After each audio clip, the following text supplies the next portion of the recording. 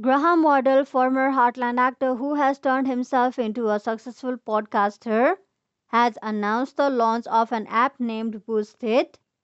It is a new app that allows creators to post their favorite completed projects and let supporters donate to be showcased in the list of top donors. Supporters are highlighted front and center in a list of top supporters for a specific piece of content.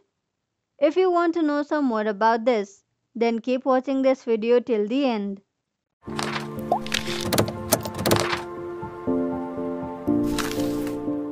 Recently, Graham Wardle has announced a new Boost It app on creator economy platform Koji.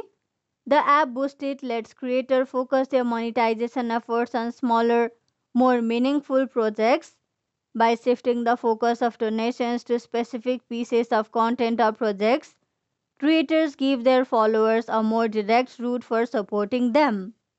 Creators only have to title and upload a photo of the completed piece they want to feature, and then followers can donate money to support the piece and have a chance to be featured themselves on a top supporters list in app.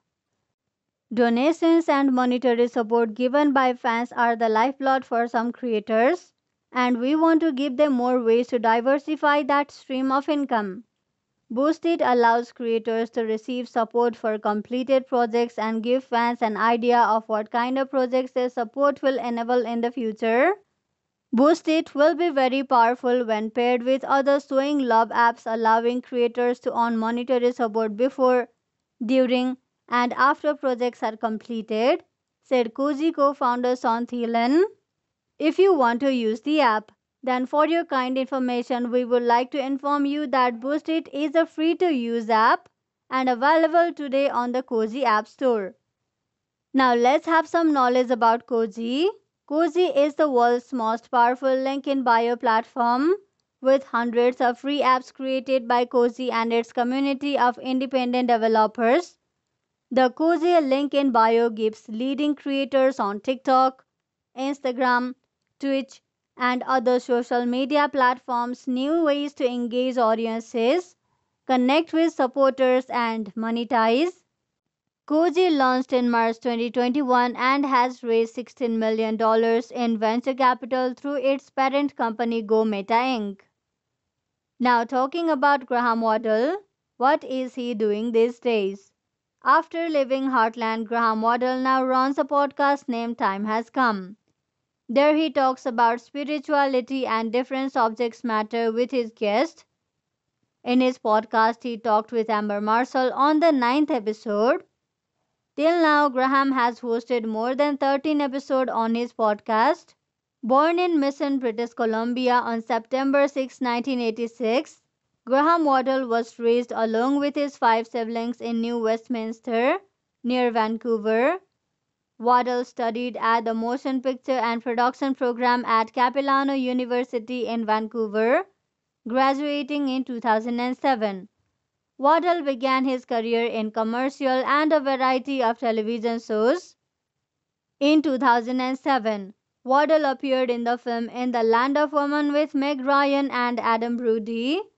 That year, he was selected to play Ty Borden in the CBC series Heartland. Wardle was nominated for two Leo Award for the Heartland episode Summer's End and The Starting Gate. He has appeared in the horror zombie movie Yesterday, the film Mon Ami, the television show Supernatural, and the sci-fi channel movie Grave Halloween.